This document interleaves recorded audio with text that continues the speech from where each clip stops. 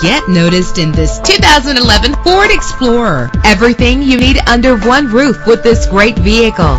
With a reliable six-cylinder engine connected to a smooth shifting six-speed automatic transmission. Stand out from the crowd with premium wheels. Brake safely with the anti-lock braking system. Plus, enjoy these notable features that are included in this vehicle. Air conditioning, power door locks, power windows, power steering, cruise control, power mirrors, an alarm system, an AM FM stereo with a CD player, an adjustable tilt steering wheel. And for your peace of mind, the following safety equipment is included. Front ventilated disc brakes, passenger airbag, side airbag, curtain head airbags, stability control. Call today to schedule a test drive.